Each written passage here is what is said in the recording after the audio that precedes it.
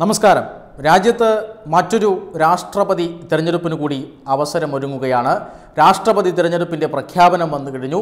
രാഷ്ട്രപതി തിരഞ്ഞെടുപ്പ് അടുത്ത മാസം ജൂലൈ പതിനെട്ടിന് നടക്കും. ഇരുപത്തിയൊന്നിന് ഫലപ്രഖ്യാപനം ഉണ്ടാകും എന്ന് തിരഞ്ഞെടുപ്പ് കമ്മീഷൻ കഴിഞ്ഞ ദിവസം പ്രഖ്യാപിച്ചു കഴിഞ്ഞു.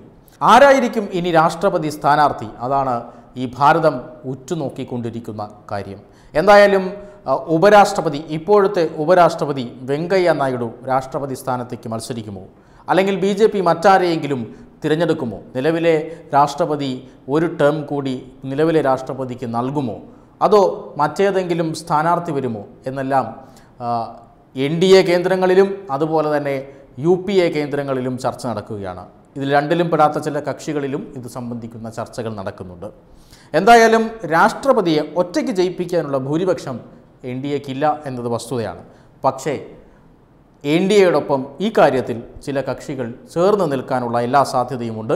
അതുകൊണ്ട് ഇപ്പോഴത്തെ ഒരു രാഷ്ട്രീയ കാലാവസ്ഥയിൽ എൻ ഡി എ സ്ഥാനാർത്ഥിക്ക് തന്നെയാണ് വിജയസാധ്യത ആ നിലയ്ക്ക് ബി ജെ പി നിർദ്ദേശിക്കുന്ന ബി ജെ പി ഒരിക്കലും ഒരു പൊതു സ്ഥാനാർത്ഥി എന്ന ഒരു ചിന്തയിലേക്ക് പോകില്ല എന്നാണ് രാഷ്ട്രീയ കേന്ദ്രങ്ങൾ വിശ്വസിക്കുന്നത്. ഒരു പക്ഷേ രാജ്നാഥ് സിംഗ് ആയിരിക്കും അടുത്ത രാഷ്ട്രപതി സ്ഥാനാർത്ഥി എന്നൊരു എന്നൊരു വിലയിരുത്തൽ രാഷ്ട്രീയ കേന്ദ്രങ്ങളിൽ നിന്ന് വരുന്നുണ്ട്. മറ്റു ചിലർ കേരള ഗവർണർ ആരിഫ് മുഹമ്മദ് ഖാൻ അടക്കമുള്ളവരെ രാഷ്ട്രപതി ഭവനിലേക്ക് പ്രതീക്ഷിക്കുന്നുണ്ട് ആ സ്ഥാനാർത്ഥിത്വത്തിലേക്ക് പ്രതീക്ഷിക്കുന്നുണ്ട്.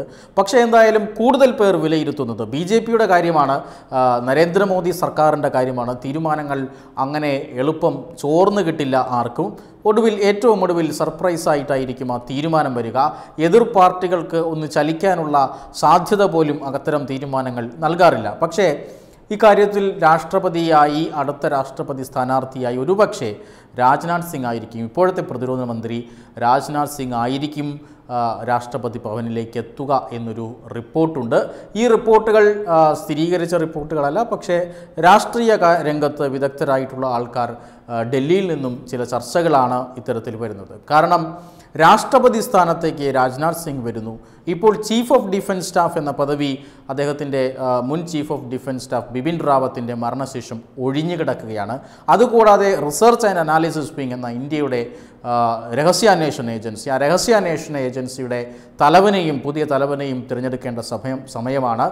ഏതായാലും ഈ മൂന്ന് തിരഞ്ഞെടുപ്പുകളും ജൂൺ ജൂലൈ മാസങ്ങളിൽ ഉണ്ടാകും എന്നാണ് പ്രതീക്ഷിക്കപ്പെടുന്നത്. അങ്ങനെയാണെങ്കിൽ ഇന്ത്യയുടെ സേനാ തലവനൻ എന്നറിയപ്പെടുന്നത് രാഷ്ട്രപതിയാണ്. പുതിയ രാഷ്ട്രപതി പുതിയ ചീഫ് ഓഫ് ഡിഫൻസ് സ്റ്റാഫ് പുതിയ റോ തലവൻ. ഇങ്ങനെ ഇന്ത്യയുടെ പ്രതിരോധ കവചത്ത് പ്രതിരോധത്തിന്റെ തലപ്പത്ത് ഇന്ത്യൻ പ്രതിരോധത്തിന്റെ തലപ്പത്ത് പുതിയ ആളുകൾ വരുന്നു. ഇന്ത്യൻ പ്രതിരോധം കൂടുതൽ ശക്തിപ്പെടുന്നു എന്നാണ് മനസ്സിലാക്കാൻ സാധിക്കുന്നത്. എന്തായാലും ഇന്ത്യൻ രാഷ്ട്രപതി ആരായിരിക്കും? ഇന്ത്യയുടെ അടുത്ത ചീഫ് ഓഫ് ഡിഫൻസ് സ്റ്റാഫ് ആരായിരിക്കും?